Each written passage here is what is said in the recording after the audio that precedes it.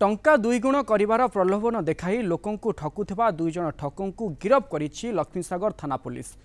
ରାଜଧାନୀରେ ରାଞ୍ଚିର ଜଣେ ଯୁବକଙ୍କୁ ପାଞ୍ଚ ଲକ୍ଷ ଟଙ୍କା ଦେଲେ ଦଶ ଲକ୍ଷ ପାଇବ ବୋଲି ଆଶା ଦେଖାଇଥିଲେ ଏହି ଦୁଇ ଯୁବକ। ଯୁବକ ଜଣକ ପୋଲିସକୁ ଖବର ଦେବା ପରେ ଭୁବନେଶ୍ୱର ରେଲୱେ ଷ୍ଟେସନରୁ ଏହି ଦୁଇ ଠକଙ୍କୁ ପୋଲିସ ଗିରଫ କରିଛି। ସେମାନଙ୍କ ଭିତରୁ ଜଣଙ୍କ ଘର ଯାଜପୁରରେ ଏବଂ ଅନ୍ୟ ଜଣଙ୍କ ଘର ପଶ୍ଚିମବଙ୍ଗରେ ବୋଲି ଜଣାପଡ଼ିଛି।